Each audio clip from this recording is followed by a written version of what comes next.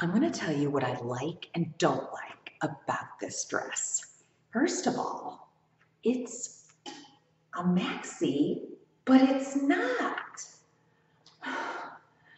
So I like that. Now, on me, I'm long-waisted short leg.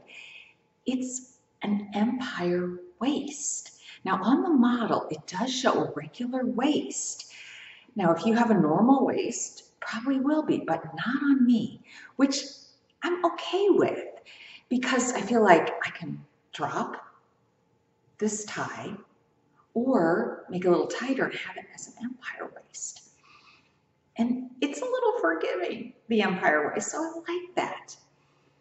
Now I feel like this fits true to size. I'm five, five and a half, weigh 126 pounds. And if you, I'm gonna step back again, you could wear little heels, really cute. Now one of the reviewers said it was a little bit wrinkled. I didn't think so. I washed it, delicate cycle cold, hung it up. Fine, now if you were to travel, I would roll it up. I used to be really hesitant about maxis. I still am because I feel like you need to have long legs to really pull it off. But in this case, you get the best of both worlds.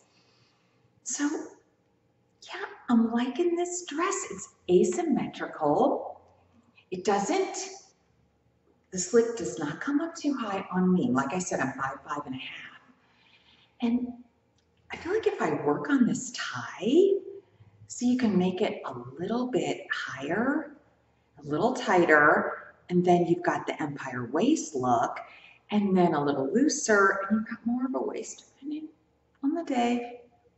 Today, I've eaten a little too much, and so I'm liking the empire waist. And I like the polka dots. I'm going to keep it.